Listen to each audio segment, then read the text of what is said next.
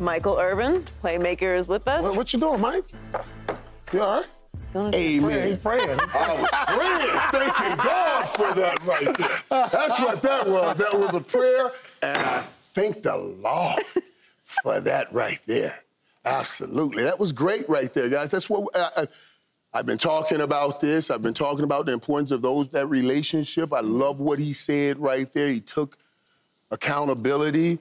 I, I, told you guys I, I felt he was frustrated in that game, and he talked mm-hmm. about it. And a lot of times, I'm gonna tell you what, what, why, why I'm so happy with this. I always talk about the Cowboys have the talent, they have the skill set. It's not about skill with them, it's about a collective will. That's why they lose those playoff games. And, and a collective will can only be built a few ways. It can be built by spending time together on the football field, practicing while you're talking through your plans for the season together. We missed that opportunity because he held out of camp all, all, all camp. But it can also be born in the midst of a lot of pain that everybody's feeling. Mm-hmm. Because everybody starts feeling that pain and saying, man, this is not what we're supposed to be. This is not what we thought we would be. And then everybody starts listening. And I believe they're starting to listen. More importantly than anybody, listen to each other. You got to start talking with each other. You can't just step on a football field in the NFL and think you're going to beat these other guys who's been together for months now and only talking football, and you've not been together, and both and everybody's talking money. So I'm glad to hear him say, "Man, we got to get this back on track. We have messed this up." Do you like the apology? Yeah, I do. You know, as a leader of this team, and, and I've been a leader on teams, and when you hold yourself accountable, uh, that's a part of growth right, Right. there. Right. You know what I'm saying? And you can't, it's hard, you know, when you, you're frustrated and losing and you let your emotions get the best of you, but you know, he's not playing to the expectations that he played with last year up until this point. Because, you know, when you look at CeeDee statistically, he, he's one of the best in the league. Right now, he's not even close statistically. And you're losing. And so it can be frustrating. I get it. That's what sports is. You get frustrated, the, the highs and lows of every day, the highs and lows of every week.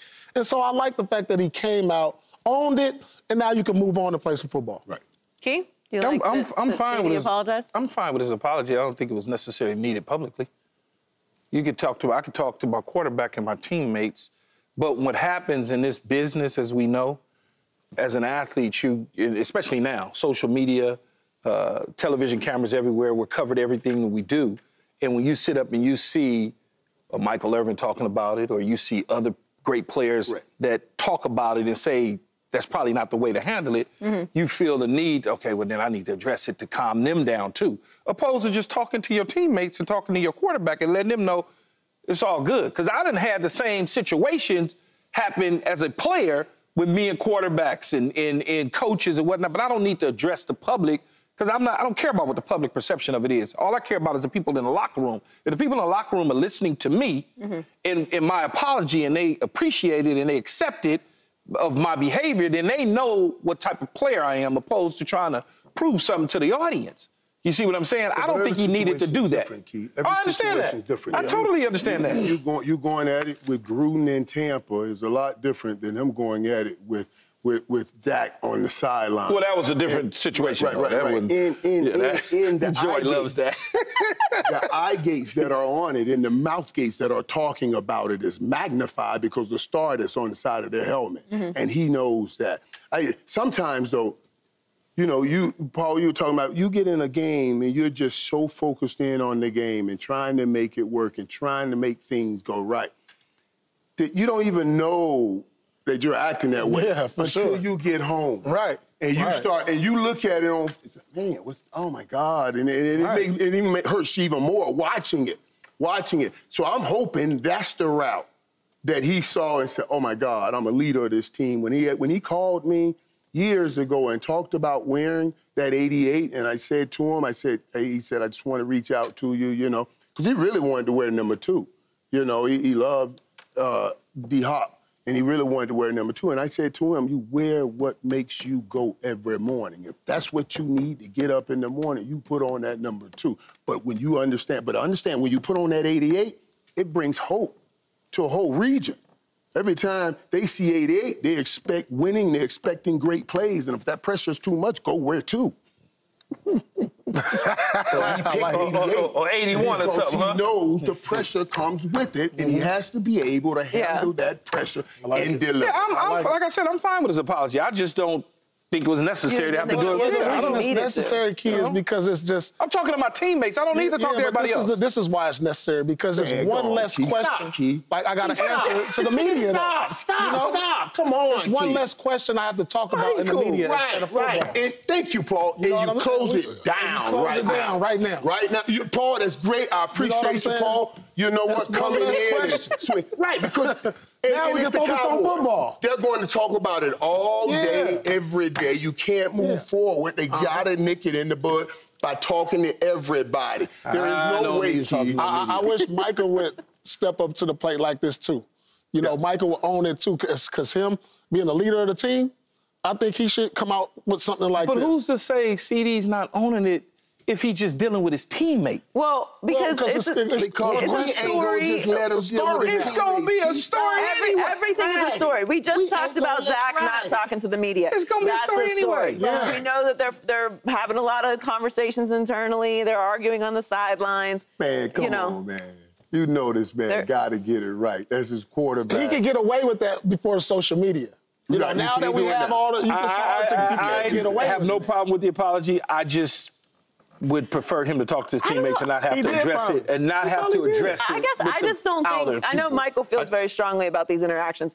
I don't really look at these ever as a bad thing. Mm-hmm. I know like emotions are kind of a thing that we're still trying to sort out how we feel about, but I think it's okay to be emotional, you know, Right. when you're competing. Right. And especially, I would rather see somebody show frustration than indifference. Now, perhaps there's some space in the middle, but mm-hmm. when athletes are emotional and they're emotional towards their teammates and they're losing and, they're, and then you see that passion, that to me is not a negative thing. But you just don't like seeing it between. But emotions are also another way of saying loss of control. Let me give it to you. Let me give it to you. Okay. When I say something to you that's funny, it's not a decision to laugh. You just laugh. Right. Right? When I say something that hurts your feelings, you don't say, hey, Paul, did that hurt your feelings? Hurt my feelings. We should cry. It's not a decision, you just cry. So when you get out here and you start sharing all of these emotions, you go sometimes too far. I don't mind the emotions, Mm-hmm. but when you're stop listening about the next play and the next series and Yeah, about it the, affects then, everything. then, then Yeah. we got a problem. Yeah. Because now what we didn't have, it wasn't just emotions, it was where it led to a loss of control. I don't even want to hear what you got to say. We're walking away from each other. We're not talking. Now, how can we go get better if we're not correcting that issue? So I want, I want to, yeah. I like what he did. Yeah, I like was he did. addressing it head on. He So they should- but they should- they- they- Keith, stop with that mess. What does that mean? so they should win. They should win going away tomorrow because this is corrected.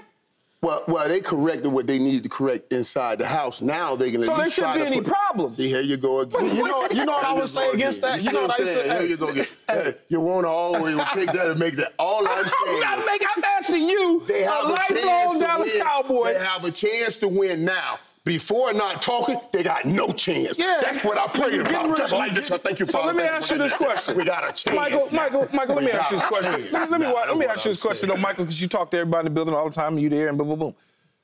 So they talked during Cleveland. It was all good. They won. So there was Yeah. some problems then. They was having problems against the Saints. They never talked. They was mad at each other, so they lost. And that's the same thing that just happened in this past game against the Ravens. So they fixed it.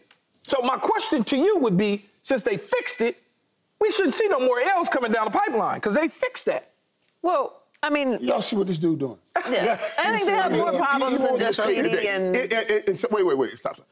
Today is victory. Mm-hmm. The man stepped up, stood up. I'm just asking. And said what he needed to say. Now, Key gonna put it on the rest of the year. Now y'all gonna go undefeated. We ain't got. We ain't talking about that. But we that's the way you- about the No, man. what they doing is clearing up the, they clearing up the. You clutter in the locker room. Right. You can't win if there's clutter in the locker Let's room. get rid of the clutter. so Okay. whether we Now win or let's see what lose, happened at on the least we don't have the clutter in the locker room. we'll see what happens And on we'll the see field. what happens on the field. But the first thing, Paul, was getting rid of that clutter. So you got rid of the clutter, so, it shouldn't be no, No, more don't try, L's. don't try to take it no farther. Are you worried about the don't Try Cowboys? to take it no farther than that. Well, are you worried about the Cowboys tomorrow night? Because they got a big game against the Giants on the road, short week. Dak's not talking to the media. CeeDee is apologizing for interactions on the Sideline, sideline. yeah. Are you worried about the Cowboys tomorrow night, Michael?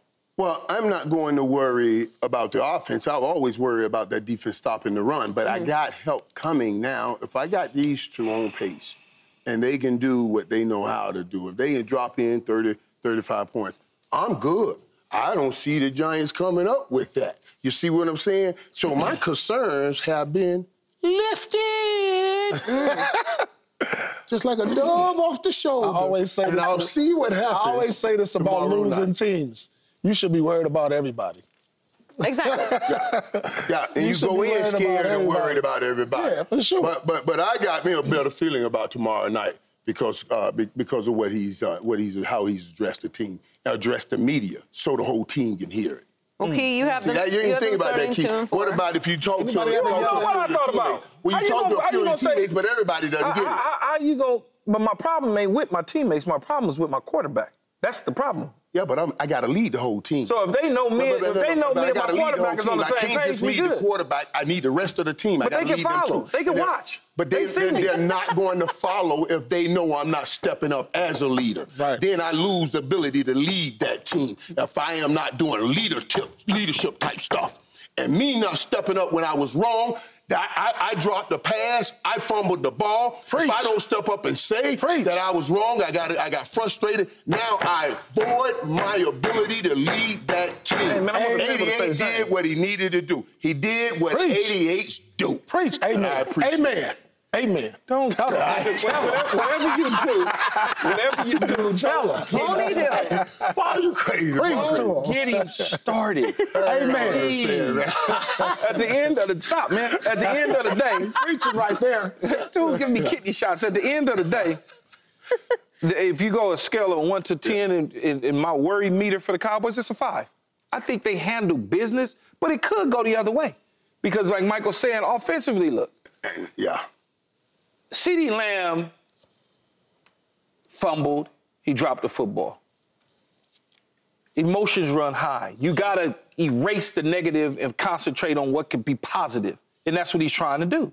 He can't help the defensive side of the ball. The defensive side of the ball, like Michael said, you gotta figure that out. You gotta figure out how to stop the run. Then you got the young kid in Malik Nabers, who all of a sudden has emerged as one of the young top rookies that we've seen right before our eyes. Mm-hmm.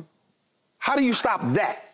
How do you stop that so you don't go down on three straight losses? Because the Giants, they don't care about 50 to nothing a year ago.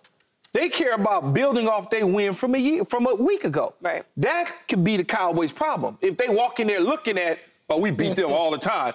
What is it, 13 in a row?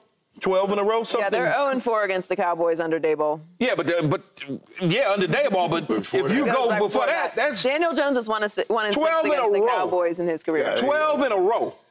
Now, if the Cowboys walk in like these arrogant dudes always doing, these type of guys right here, they're going to get. Oh, I'm pointing Well, me to I mean, point you. Michael could walk around. I, I, I think that they should, as Paul said, treat every every game like a serious game. 'cause Absolutely. It is. They If got they, to. if they win this game, And you they're going to to settle everything down. It's not going to fix Mm-hmm. everything, but at least you just settle things for the week. If you lose this game, it's going to be a dumpster fire. Subscribe here to get the latest from Speak and go watch a few segments from our other shows on FS1.